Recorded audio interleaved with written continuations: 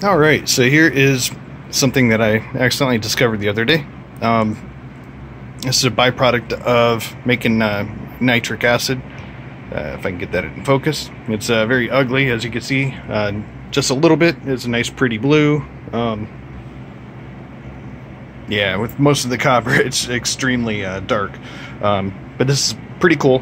Here's a, a, piece of feeler gauge. This is a 1095 steel, and you can copper plate this in a split second. And I don't know. I'm gonna have to test this because uh, if I do a, a three layer uh, at five seconds per layer batch, um, the copper plating that is left on the steel is so durable. I, I don't really know what to think of it, but I actually put uh, the feeler gauge on my keychain. It's been rubbing around my pockets all scratched up. Um, I'm going to keep on doing that for at least a good month and see if I can wear off uh, any of the copper in my pocket. But anyhow, uh, I just wanted to give this little demonstration on how fast this is. Let's go real quick, and you can see it already building up. Put it back. So the copper is coming out of solution and binding to the steel. Uh, I mean, just real quick. It's ridiculous. It, you know, at first you think it's rust, but it's copper. So if I leave it in there for a bit,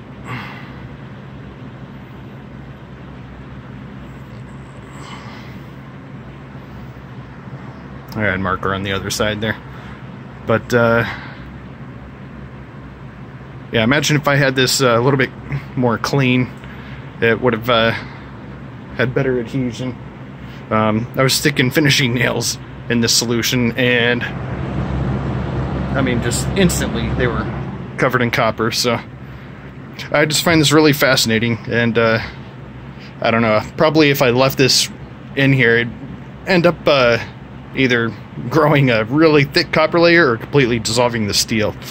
Uh, right now, it just seems to be adding layers of copper. So I know it's copper 2 ions. Um, it's most likely uh, copper 2 chloride. Uh, it was a mixture of potassium nitrate, hydrochloric acid, 31.45%, uh, and 32 grams of copper. Um, so anyhow, yeah, sorry, uh, camera's moving all over the place, but it'll end up drying like a, a, dull finish, but if I polish it up the Dremel, I mean, it's nice, shiny copper. I mean, plus if I wear it down with some uh, 400 grit sandpaper and then uh, clean it off real quick, distilled water, stick it back in, uh, comes out actually looking pretty decent. Um, but yeah, it's just uh, it's something incredibly impressive to me. Um, you know, I'll probably end up getting like even thicker more uh, durable coatings uh, through electroplating, but you know, for not having a means to copper plate something, you you be able to do it without uh, electricity. You just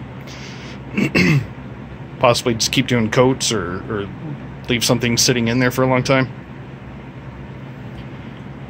But yeah, it just seems to keep getting thicker and thicker. So it's pretty cool. Anyhow, um, I'll end up touching this up, getting it nice and shiny, and then seeing how durable it is.